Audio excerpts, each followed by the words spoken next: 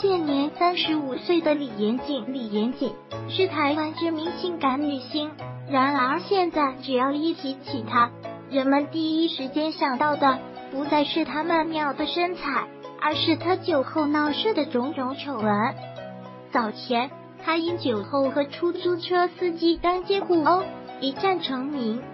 去年七月，又被媒体拍摄到酒后与两名男性约会举止亲密的照片，一度被外界疯传成一晚搞两男。二零一九年七月。李延景被媒体跟踪拍摄到他当晚与两名男性在酒吧喝酒聚会，当时的李延景喝得两颊绯红，有明显的醉意。期间，李延景开始不停的对身边的胡须男子发动攻势，搭肩膀，互相摸头摸脸。玩性大发后，李延景更是一把扯上胡须男的头发，直接将手伸进了男方的衣服内。上下其手，动作极其粗暴，几乎要把胡须男子的衣服扯开。与此同时，李延景还不忘转头与身边的另外一名眼镜男深情对望，抛媚眼调情。之后，因为李延景和胡须男打闹的动作过于猛烈，还一度双双摔倒在地。酒吧散场之后。李延景被整晚滴酒未沾的眼镜男护送回家，两人在四下无人的巷口还深情相拥，这一切都被记者悉数记录在了镜头之中。事后有媒体爆料称，当晚护送李延景回家的眼镜男就是李延景的正牌男友。跌宕起伏的剧情发展，更让吃瓜群众摸不着头脑。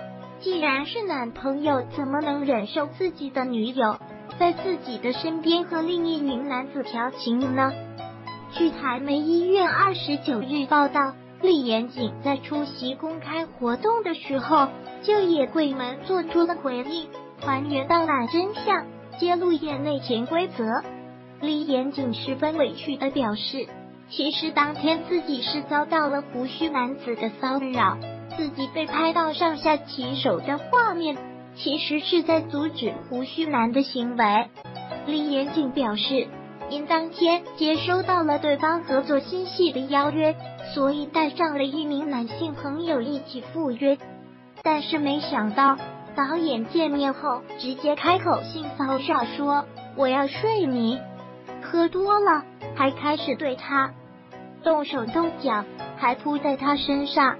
李延景委屈的解释，所以我就把他的头抓起来，不料却刚好被拍到，看起来变得像在打情骂俏。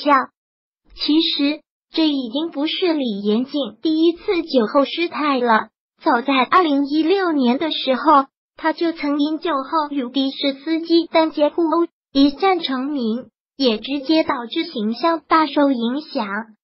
日前。三十五岁的李延景在个人社交账号上发文感慨，连续提问网友：为什么我现在还嫁不出去？为什么最近没戏拍？为什么那位司机明明态度不好又上了新闻，还是有很多人用放大镜看我？其实这些问题，李延景与其要问网友，还不如问自己为何要一边努力挽回形象。一边又要继续与酒精为伍。